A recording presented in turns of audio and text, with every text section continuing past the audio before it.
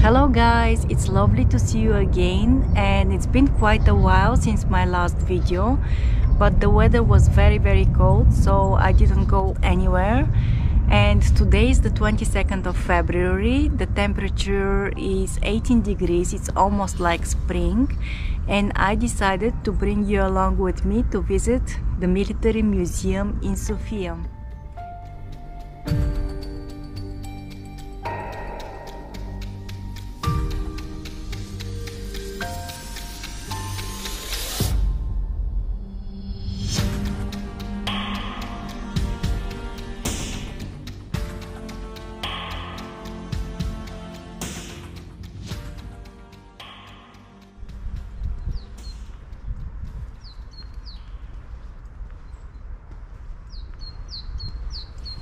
as you can see I'm sitting here in um, where the outdoor exhibition is. It's quite uh, impressive to stand next to these tanks and airplanes because it's one thing to see them on a picture or in movies. It's a totally different thing to be able to stand next to them.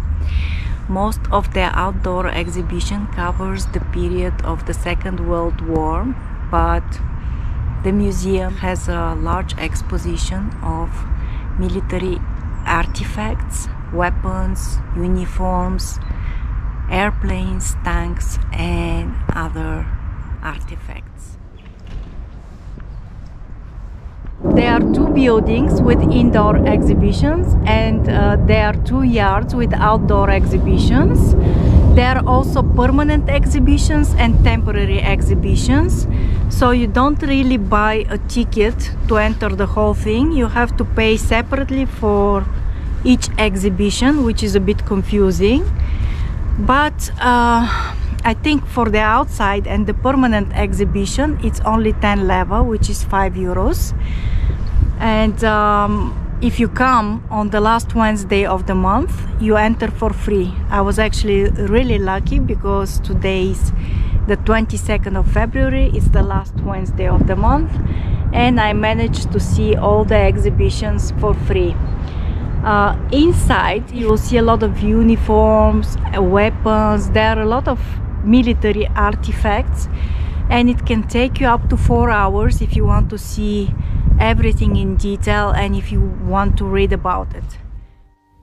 Personally, I was more impressed by the outdoor exhibition and what I liked the most were the aircrafts.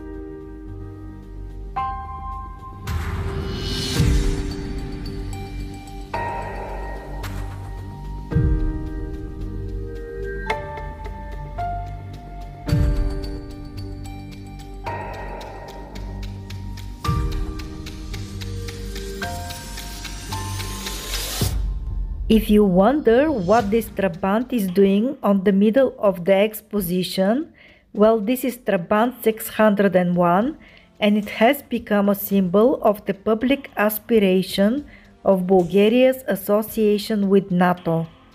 This is a donation from the president of the Atlantic Club in Bulgaria, Dr. Solomon Passy.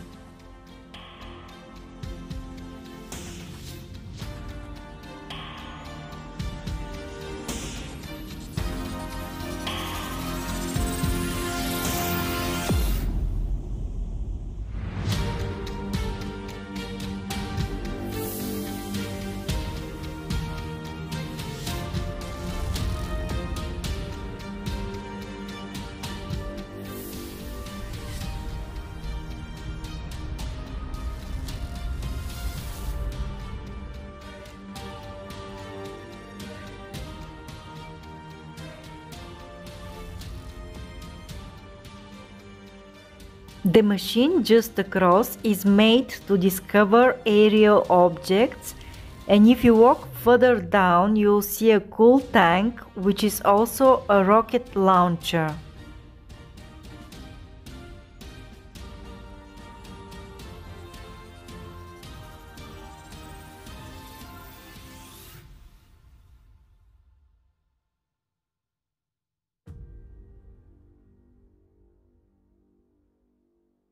So uh, now I'm leaving the museum and I want to go into the city center because there is a new food court which is called the Bohemian Food Court and I would like to check it out. It was opened up in September.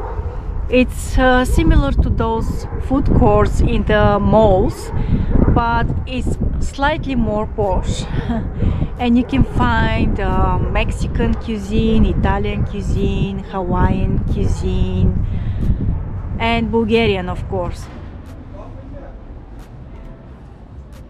There is a large variety of food counters to choose from. The most tempting ones for me are the Mexican and Hawaiian cuisines, but I'm going to have to come back when I feel genuinely hungry.